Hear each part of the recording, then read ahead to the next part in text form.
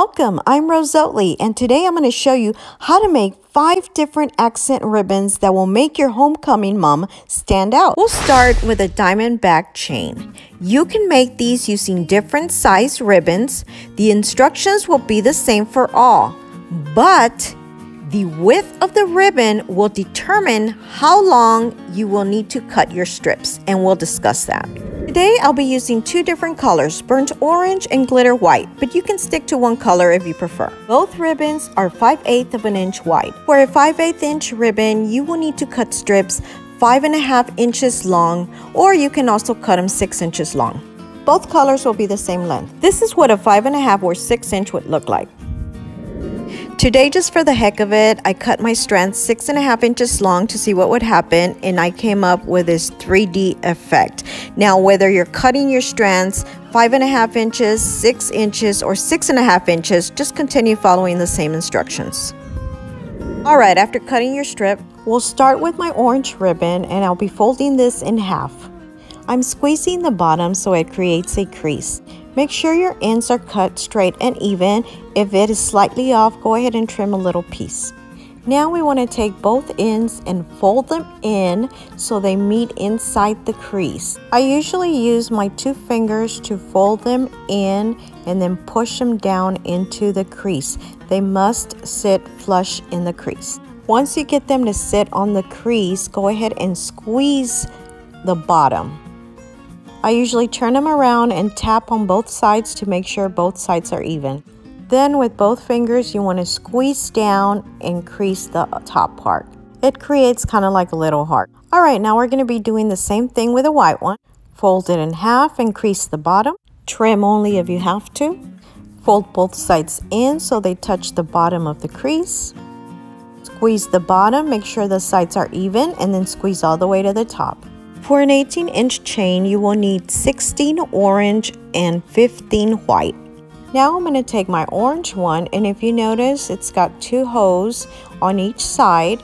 We are going to take our white ribbon and with these two loops and those two points are going to slide right inside those holes. Alright, let's go ahead and feed these through here. Kind of pull on it a little, making sure everything's fitting nice and flush. Then we're going to staple where the orange and white sit. That way we can secure the bottom. Okay, so this is our base and if you can see the staple is down here.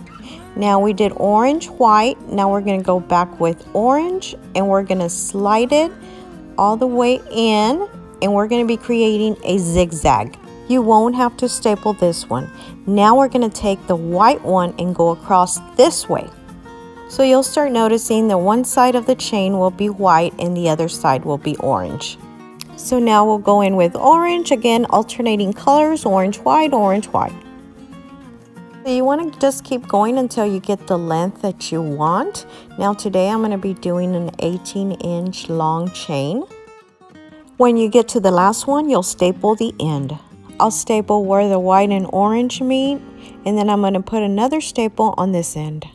Alright, so again on this side I have 16 orange and on the other side I have 15 white. Take a quick picture of this chart that I made that will help you determine the length of the strips that you will need. Once you're done with your diamond back chains, you can hang them just like that or you can decorate them and I'll give you some ideas. For example, I bought this strand of rhinestones for very little at a place called Travis Wholesale located in San Antonio, Texas. They're actually a florist open to the public, but they also sell other craft supplies. Now you can also pick stuff up at Michael's, Hobby Lobby, any craft store in your area. Now, for a chain like this, uh, you could either glue it right in the center, or like in my case, I ended up cutting each one individually and I glued them to one side. I also bought this roll of rhinestones at Travis Wholesale. Again, I've seen them in other places as well. This one was $7.95 and it's got quite a bit in here. And you basically cut them to the size that you need. In my case, I ended up cutting little squares like this and I added them to my orange um, chain. In the mum section, you'll also find little decorations that say homecoming, you have footballs, cheer, band, a lot of different stuff. So I went ahead and glued that one to the bottom of this diamondback chain and I just added curly ribbon, curled it up, bunched it up, and just hot glued it right at the bottom. Next, we're going to be making a heart chain. You'll need a 7 8 inch wide ribbon, cut 18 inches long or however long you want your chain to be. To make one heart, you need two 7 inch long strips. Today we'll be making 4 blue hearts and 1 silver heart. Therefore, I will need 8 strips of blue and 2 strips of silver. The long ribbon will go in the center and will hold our hearts together. We'll start with one blue strip and you want to fold this in half. Then you'll take a second strip and fold it in half as well. I'll show you two different ways and you can pick whatever is easiest for you. Line up one loop on one side of the ribbon and then the other loop to the other side of the ribbon. This will create a heart for you, just like this. Turn it over on one side and you will need to add one staple on each side of the ribbon. And you have yourself a heart. Now fold another ribbon in half and I'm going to be showing you what I think is probably the easiest way. You want to go ahead and insert the end kind of like towards the inside of the other heart. Once you figure out where you want that to go, you'll add a staple on one side. Now we'll do the other side, fold your strip, then insert it, make sure that it's aligned with the other one and put a staple on the other side. I have added a silver heart in the center and now I'll be adding two blue hearts on top. And here you have a heart chain. Now you can use different color ribbon. You can also layer them so you have two different colors, one on the inside and one on the outside. And you can also decorate these as well. Just like I've done here, you can add a rhinestone to the center of each heart. You can also add curly ribbon and a bell to the bottom of your chain. The next chain will be a down arrow chain. I'll be using two different colors, blue and silver. My blue is 1 and 5 sixteenths of an inch wide. My silver is 1 and 1 4th inches. Now, this one is just a little tiny bit bigger than the blue. I would normally use the same size for both, but it's not going to make much of a difference. If you prefer, you can also use just one color. You'll start by cutting strips two and a half inches long. You'll need seven silver and six blue. Take a strip and fold both sides in so they make a triangle. You can start with one side. Now make sure that it lines up with the bottom perfectly. Then you want to take your other side and fold it down as well so that everything lines up. Then press down to make a crease. If the bottom isn't straight, you can trim it a little bit to fix. Then we'll glue both sides down with our glue gun. This will make an arrow. Now let's make a silver one. Again, fold each side down to make a triangle, then glue. Then continue to make triangles with the rest of your strips. Once you're done with all your strips, we're going to start gluing them together. I'm adding a little bit of glue only to the bottom of my arrow and I will place it on top of my other arrow so that it's facing down. I'm going to be aligning it with the point and if you turn it around at the back you can also use the line in the back as a guide to make sure you're on there straight. You will glue your next one alternating colors until you get to your last one. This is what it'll look like once you're done gluing all your arrows down. Okay, using the same size blue ribbon we used, you're going to cut 18 inches long and we are going to attach this ribbon to our arrows. You're going to turn your triangles around and add some glue at the very top of your first triangle. Then you're going to begin to glue down your ribbon. Go ahead and press down and then you can add a strip of glue all the way to the top of your triangles and finish gluing your ribbon down. You can decorate by adding text or the year. You can buy these letters at uh, Michael's, Hobby Lobby, or any craft store. Now we're going to get started on this different chain. We'll be using 1 and 3 8 inch orange ribbon. My blue one is 1 and 5 16th of an inch, but you could use the same size for both. I just don't have the same size for both, but they are very close. You will need 6 blue and 6 orange 3 inch long strips.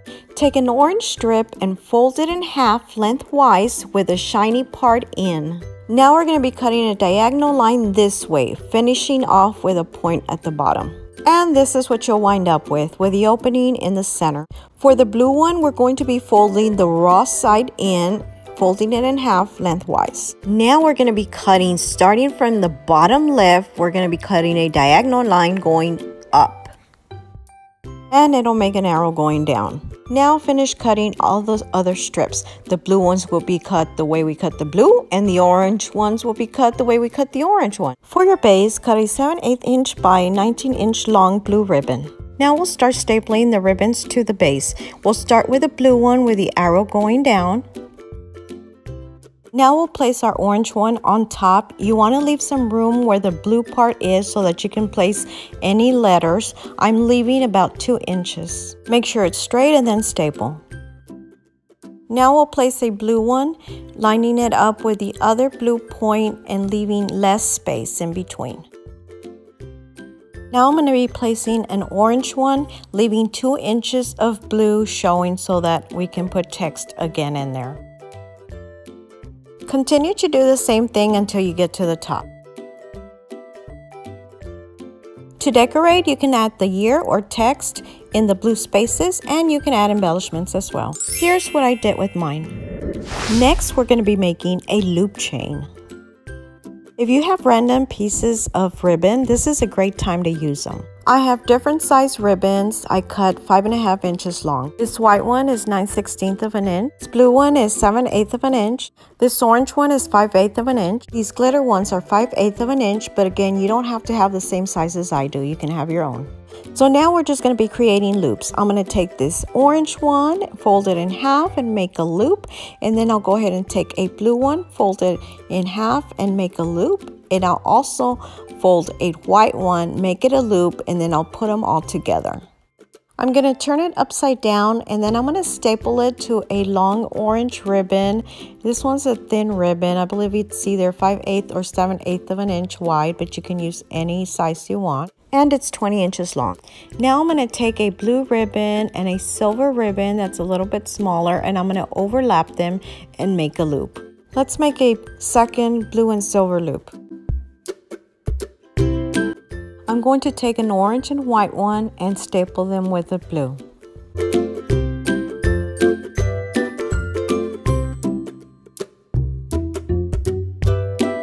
Now we'll do blue, orange, and white again. Blue, orange, blue, orange, go Mavs. And now we'll go back with a blue and silver set.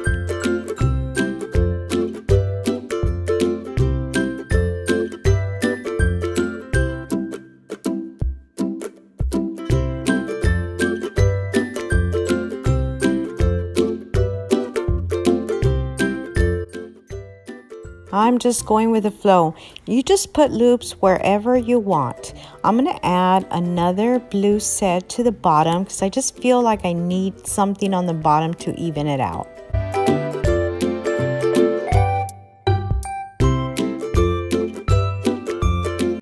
I'm going to add some curly ribbon to the bottom and a few embellishments throughout.